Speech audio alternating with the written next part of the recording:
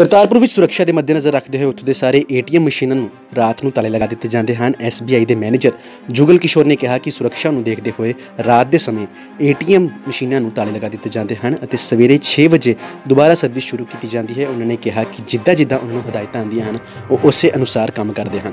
ਬਾਕੀ ਇਲਾਕਿਆਂ ਦੇ ਵਿੱਚ ਸਮੇਂ ਸਾਰਣੀ ਦਾ ਆਰਬੀਆਈ ਹੈੱਡ ਆਫਿਸ ਜਲੰਧਰ ਤੋਂ ਪਤਾ ਚੱਲੇਗਾ। Sir Jugal Kishore branch manager SBI GT Kartarpur. हाँ, जैसे सर देखने में आया कि रात को एटीएम तकरीबन बंद होते हैं ना तो इसका कोई कारण क्या है? सर भी सिक्योरिटी रीजंस के चलते हमारे रात को 10 बजे एटीएम बंद किया जाता है तथा सुबह 6 बजे खोल दिया जाता है।